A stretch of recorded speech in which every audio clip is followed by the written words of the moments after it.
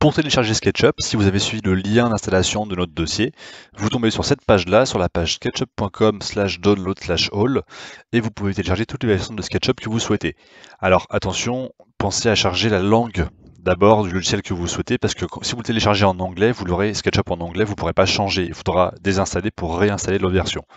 Donc si vous le voulez en français, descendez un peu dans la liste, et vous aurez toutes les versions de SketchUp de 2021 jusqu'à 2017 et télécharger la version disponible pour votre système d'exploitation. si vous êtes sur PC, prenez la version Windows et si vous êtes sur Mac, la version Mac. Donc juste à cliquer sur l'onglet télécharger